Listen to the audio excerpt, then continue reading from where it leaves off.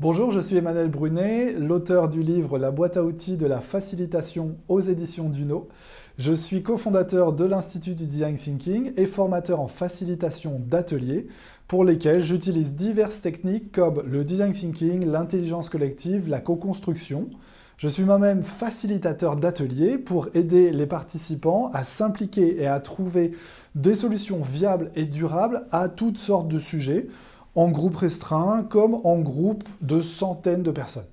Dans cette vidéo, nous découvrirons justement un outil de facilitation génial qui combine simplicité et efficacité et qui fait réfléchir et co-construire des groupes allant de 10 à plus de 2000 participants.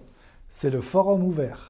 Si vous avez besoin de créer un atelier de co-construction et d'intelligence collective sur un sujet complexe, mais que vous ne vous y connaissez pas vraiment en facilitation, voici l'outil idéal. Le forum ouvert dure entre une demi-journée et une journée entière et permet à chacun de partager ses expertises, son vécu, ses idées et ses compétences. L'élément incontournable de ce forum ouvert, c'est le buffet bar qui est accessible en permanence dans la salle. Les participants peuvent y prendre une boisson, un snack ou directement leur déjeuner quand bon leur semble. Il n'y a donc pas de moment de pause imposé dans la journée, chacun est libre d'y aller quand il en ressent le besoin. Le forum ouvert est découpé en cinq phases. La première s'appelle la place de marché. Il n'y a pas d'ordre du jour établi, juste un thème de travail spécifique et global pour toute la durée du forum. C'est aux participants qui le souhaitent de proposer des sujets de réflexion en fonction du thème du jour. On passe alors aux ateliers divergence. Les participants intéressés par un sujet en particulier s'assoient autour de l'initiateur du sujet. De paperboard, ces derniers mènent le débat, notent toutes les informations utiles sans jamais les trier, que ce soit du partage de bonnes pratiques, euh, des pires moments, des faits, des statistiques, etc. Pour le moment, le groupe n'est pas en train de trouver des solutions, mais bien d'alimenter le sujet par ses connaissances diverses et pluridisciplinaires. Puis tout le monde se regroupe au centre de la salle et fait part de ses découvertes. On appelle ça le grand journal.